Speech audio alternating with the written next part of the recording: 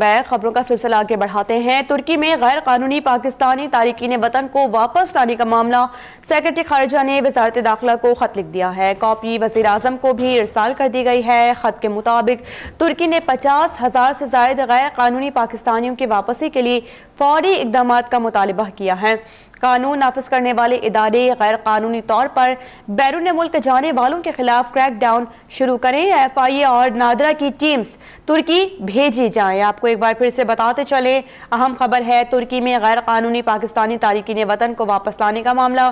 Secretary दाखिला ने वजारत दाखिला को खत लिख दिया है और कॉपी वज़ीर को भी इरसाल कर दी है।